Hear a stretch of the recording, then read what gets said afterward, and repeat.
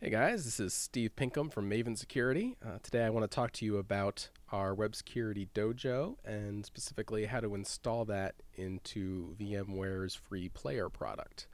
Um, first, I'll tell you a little bit about Web Security Dojo. It's a training environment for web application security.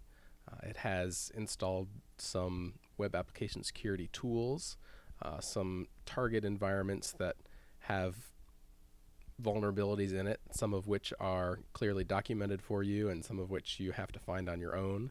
So it provides a couple different ways to learn that way. There's also good documentation on uh, what vulnerabilities are in general, some of the standard documentation from OWASP about how to go about finding those problems and what those problems mean. Uh, all in all, everything is set up uh, for you so you don't have to do anything. You can just sit down and start hacking. Um, so no matter what your level of skill in web application security, there's something in there for you to be able to hone your skills a little bit. I'll show you the VMware player that we're going to use to install this in today. Uh, it's a product from VMware that allows you to run another operating system inside your OS. Uh, it doesn't make any changes to your environment. Um, it gives you the ability to have it NAT networked, which means you can get out but nobody else can get in. So you can run these insecure web apps without worrying about people accessing your computer in ways that are bad. You know, still probably not something you should be running if you're at Black Hat or some other place where there's tons of hardcore people around who might find a way in. Uh, but in general, it's fairly safe because of the way it's installed, and there should be no changes or impact to the rest of your computer at all. So it's a great way to play with these things without interrupting your computer you use for normal use. Uh, if you go to their products VMware Player section, you can download for free their VMware Player. They do ask you to register before you download it, but there's no limitations on it. You just have to give up a little bit of your personal information. It's a very good tool, though, and lets you easily run this software. So go ahead and download that. Uh, after you've downloaded and installed that, you need the Web Security Dojo files. You can come to dojo.mavensecurity.com. Uh, there's a link there to SourceForge files, or down here, a link specifically to the VMware version. Uh, I want to show you a caveat here on SourceForge. The big green button that SourceForge has on their website, uh, you'll see in a second, is the VirtualBox version. So if you're running in VMware Player or you have some other VMware software that you already have installed and you want to pull the VMware version, you got to go down here to the VMware version and not the big green button for VirtualBox.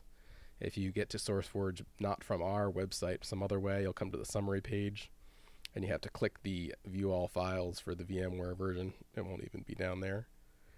And that'll bring up the download page with the VMware files on it. Once you've downloaded and installed the VMware player and downloaded the Dojo files for VMware, uh, you just need to extract the Dojo files next. Uh, I'm going to use the built-in zip file extractor in Windows 7 and Vista. Just double click on the file and say extract all files and it will create a place to extract them to. If you have a zip file handling program you prefer to use, that's fine. I'm going to skip ahead while this decompresses for a minute.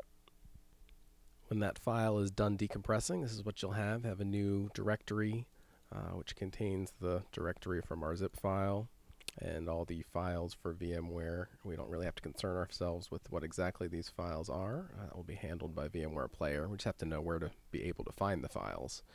Um, so then you'll open up your VMware Player.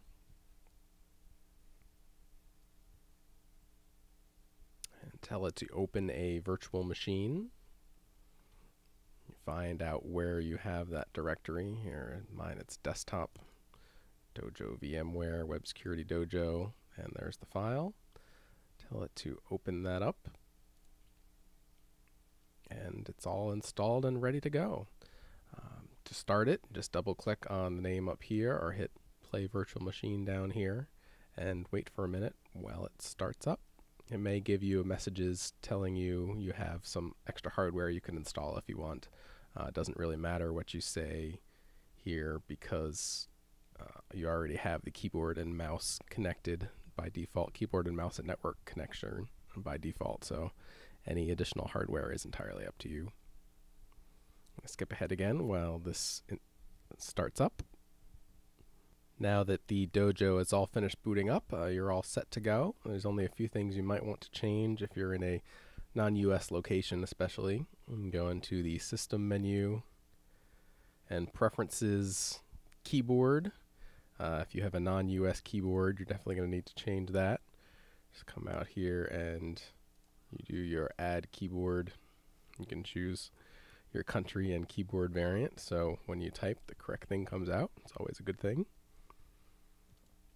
Also, you may want to change the display, change system preferences display to give it a different resolution so you can get more stuff on the monitor if you have a larger monitor than is included by default. Um, then you're all set to go. Uh, we have other videos up about how to get started, and you're welcome to view those. Hope this has been useful.